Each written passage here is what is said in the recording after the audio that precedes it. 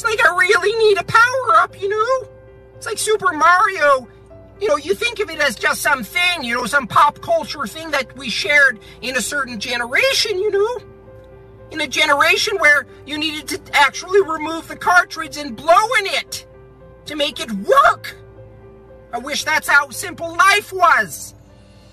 But you look at the visuals of the game, you know? It's like it's very simplistic. It's like the sky is beautiful and blue, and all the clouds are perfect, and you're moving along in life, and there are obstacles. And it doesn't matter how they're manifested, it could be a box. And some of those things you have to physically punch and destroy.